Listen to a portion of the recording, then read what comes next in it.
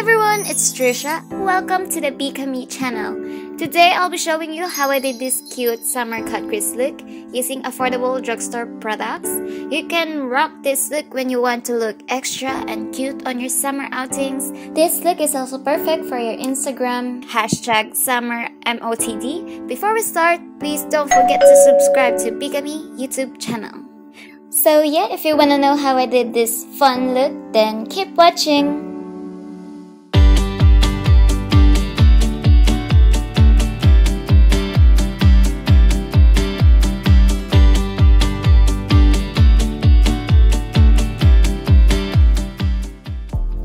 Start off with a clean face before applying makeup. Never skip moisturizing your skin, especially since it's already summer. I use my all-time favorite Nature Republic aloe vera gel, then let it dry for a minute.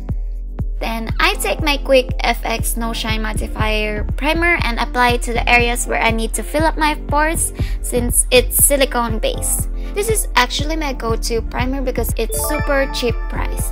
This sachet costs less than 100 pesos. For the brows, I'm doing straight Korean brows for that youthful look. Then I apply this brow mascara that matches my hair color. We're gonna clean up and sculpt the brows using this concealer from NYX. Now I'm taking this Infallible Pro Matte Foundation in the shade 104. We're going to cover my entire face and neck with it. Now with NYX's Wonder Stick, I'm gonna cream contour the perimeters of my face.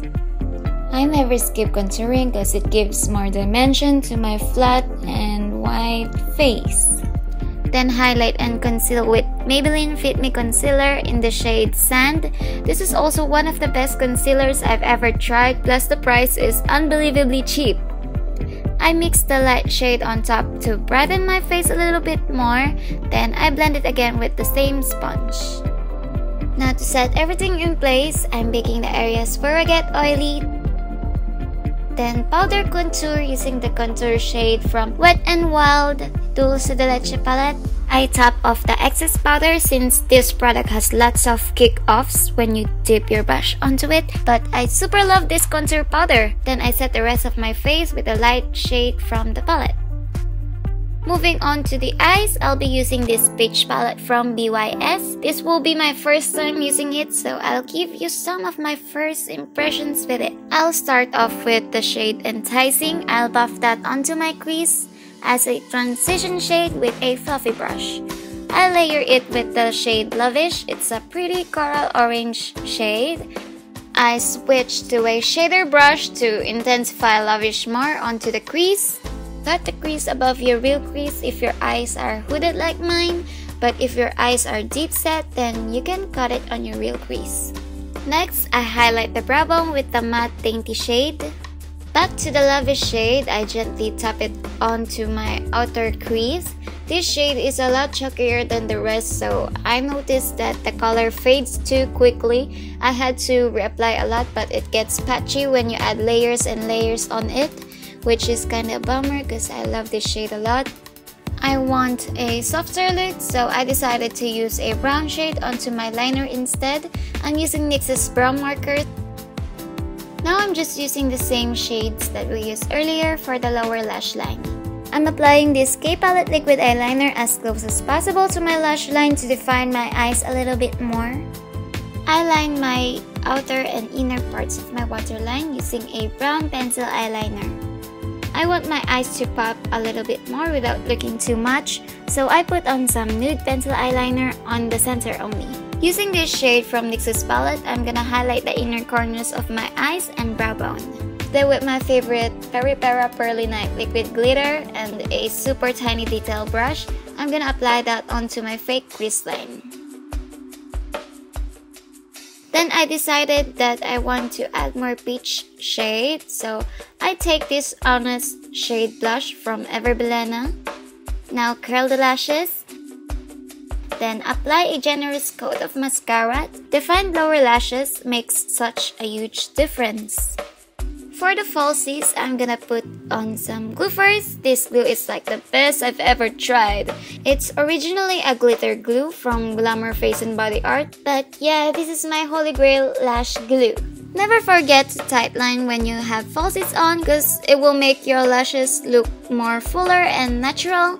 Plus, it's gonna look weird if you don't. Now I'm putting on some black liquid eyeliner because the lashes were too long for me and the inner part is kind of floating so we're gonna conceal that with this trick. Now let's brush off the excess powder on my face using the light shade on the Wet n Wild contour palette. Then I'm gonna define the nose even further with the contour shade. I like to put on some shadows under my mouth and to my philtrum too. For the blush, I'm using Ever Bilena's Honest shade. We're gonna top that onto the apples of the cheeks.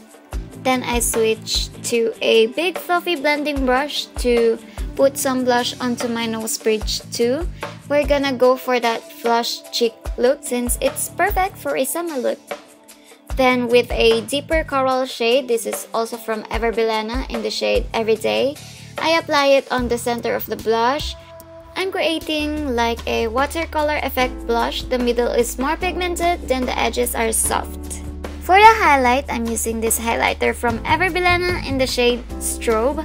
I'm gonna apply that on the high points of my face. This highlighter is good for its price, but it's a little too chalky, but I'm fine with it overall. You may skip this part if you're not a fan of the faux freckled look, but as for me, I love it so much. I think freckles are cute, so I'm gonna draw little dots using the same brown marker from NYX.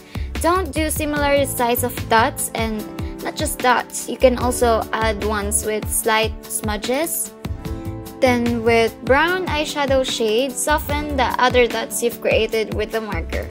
This will give more variety of texture onto it. My face is getting cakey so I sprayed it with a setting spray but it still looks cakey. I think I was right about the Infallible Pro Matte. It seems too drying for me so yeah, please excuse the cakiness. Moving on to the lips, I'm gonna outline Ever Bilena lip liner in the shade Sexy Nude.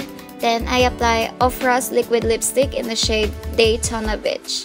We're gonna apply that on the inner part of the lips for a gradient effect. Then blend the edges out with your finger. I want my lips to be more orange, so I apply LA Girls matte lipstick in the shade Stunner onto the innermost corner of my lips. Now blend the edges.